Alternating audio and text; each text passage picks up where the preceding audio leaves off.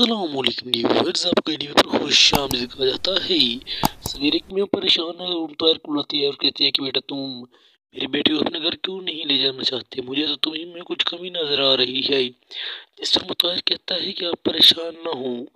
मैं अभी अभी जा रहा हूँ गाड़ी लेने के लिए। अब मैं और अब अपनी बीवी को ले जाऊँगा अपने घर। और वो वहाँ से चला जाता है इतनी सवेर आ जाती है। और सवेरा अपनी माँ से कहती है, क्या हो गया? जिस पर उसकी माँ कहती है कि मुतहर तुम्हें अपने घर नहीं ले जाना चाहता, मुझे लग रहा है।